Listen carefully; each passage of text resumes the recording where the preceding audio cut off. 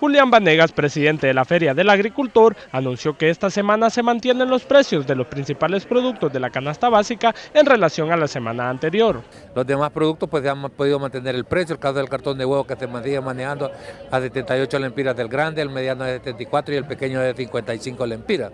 Los derivados de la leche igual se siguen manteniendo con el precio de 48 el demiseco, el queso crema de 36 lempiras, la cuajada de 38, la mantequilla escurrida 32, la mantequilla crema y rala 26 y el requesón a 22. Pero esta semana los vendedores de carne en este lugar reportan que no hubo alza en los precios, aunque expresan que existe escasez. Eh, nosotros sí, la carne de Herrera estamos comprando carísima, los mayoristas y todo eso que traen el ganado de afuera, por las exportaciones los están dando carísimo, el, canal de, de res.